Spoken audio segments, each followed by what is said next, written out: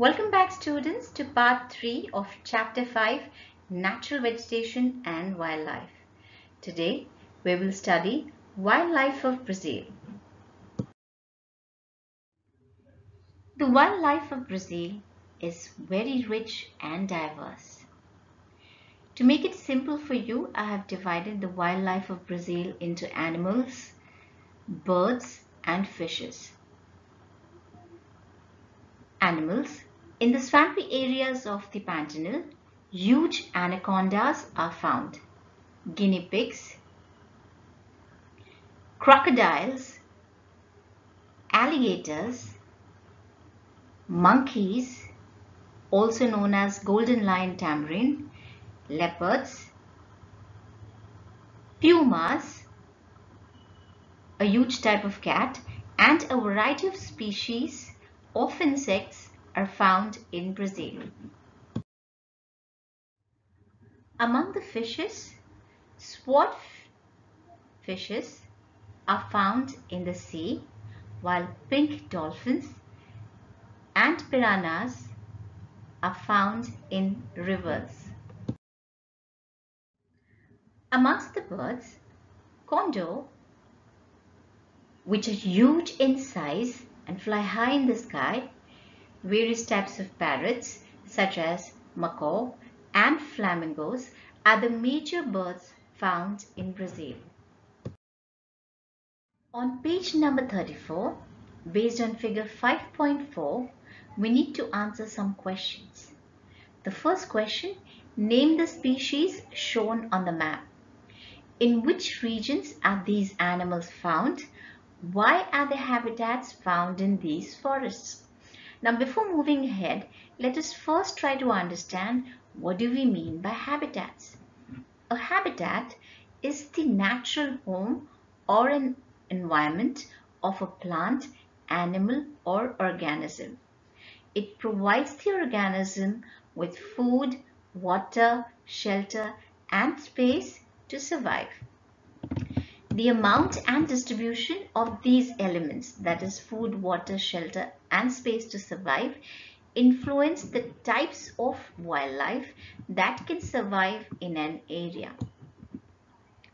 So the type of animals that are found in the equatorial forest or the rainforest or the Amazon rainforest are first condor.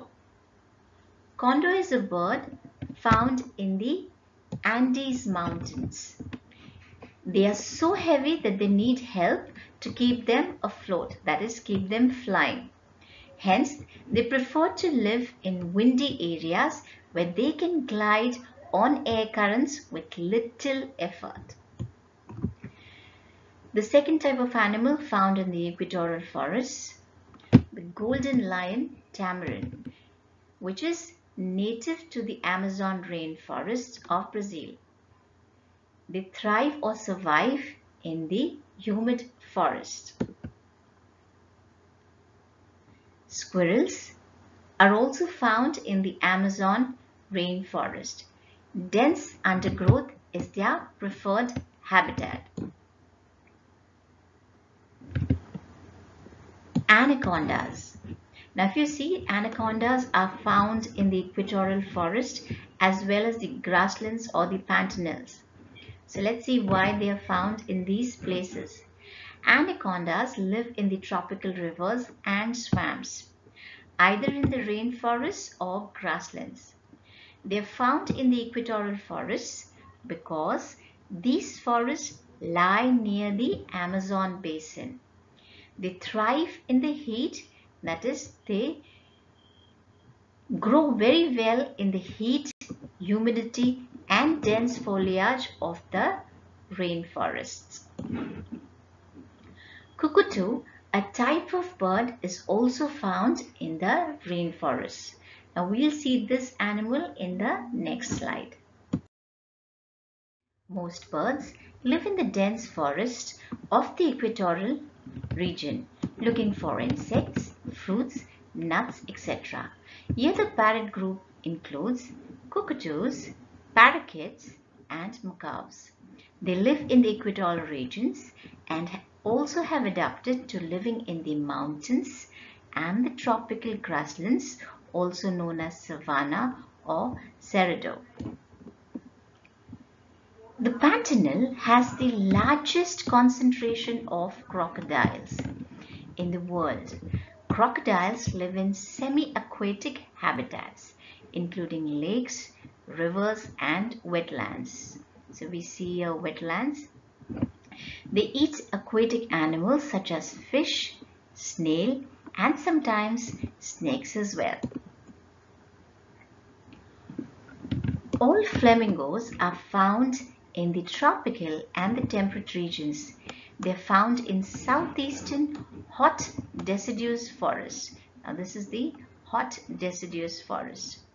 They like warm and watery regions and enjoy spending time in the shallow lakes, swamps, sandy islands and mangroves.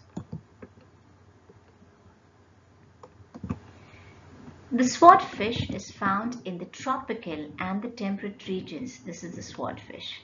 They are found in South Atlantic Ocean, the southern part of Brazil. The next question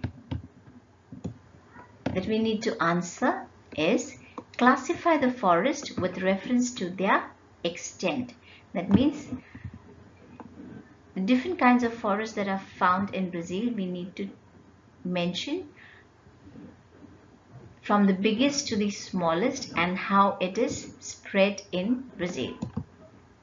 So the maximum area is covered by the equatorial forest. So with reference to the extent, the equatorial forest covers maximum part of Brazil. So this is the equatorial forest. These forests are found in Guiana highlands and the Amazon River basin in north and northwestern part of Brazil. After the equatorial forest, the tropical grasslands, also known as savanna or cerrado, occupy major part of Brazil.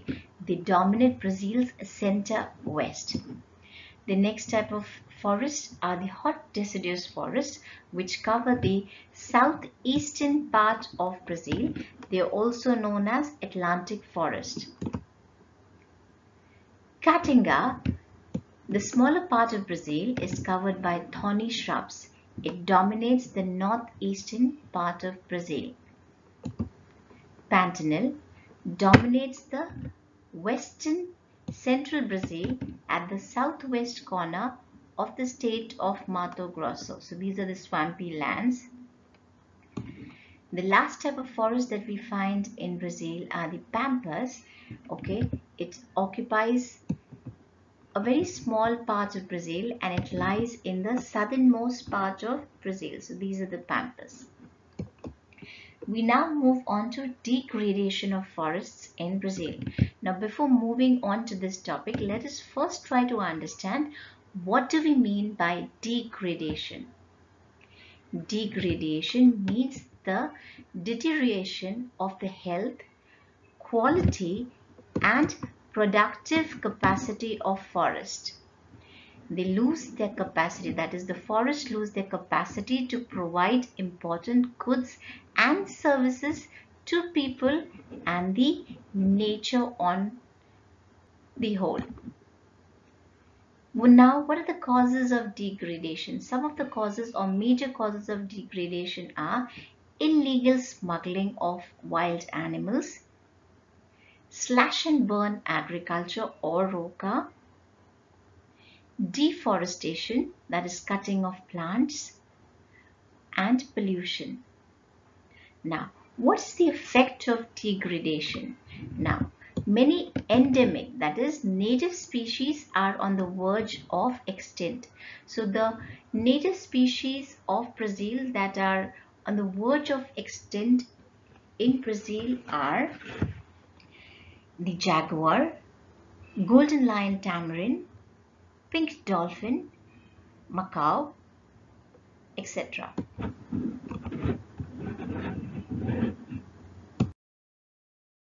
One of the major re reasons of degradation of forest is ROCA or subsistence agriculture. Now what do we mean by subsistence agriculture? Now this type of farming is practiced on small patches of land. Now a patch of land is cleared by slashing or cutting the trees and burning them. So in the figure we see that the trees are cut and burnt. The ash is then mixed with the soil and the crops to increase its fertility and kill unwanted plants and insects. So the ash is mixed with the soil to increase its fertility and to kill unwanted insects and plants.